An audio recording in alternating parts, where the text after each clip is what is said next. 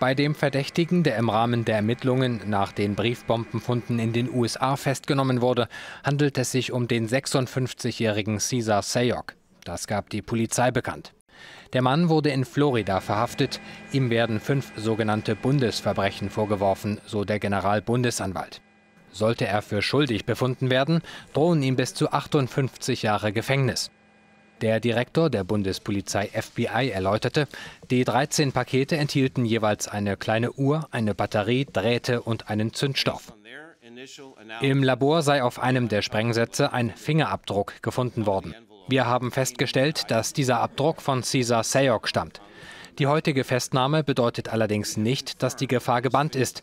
Es könnten weitere Pakete unterwegs sein, so der FBI-Direktor.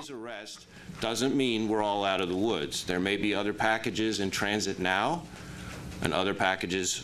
US-Präsident Donald Trump rief in einer Stellungnahme zum friedlichen Zusammenleben aller Bürger seines Landes auf. Wir dürfen niemals zulassen, dass politische Gewalt in Amerika Wurzeln schlägt.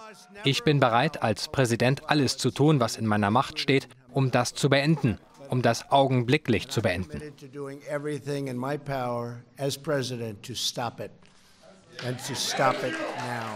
Die Briefbomben waren unter anderem an Persönlichkeiten des öffentlichen Lebens in den Vereinigten Staaten gerichtet worden, die sich wiederholt kritisch über Trump geäußert hatten, darunter Politiker der Demokratischen Partei und Schauspieler Robert De Niro.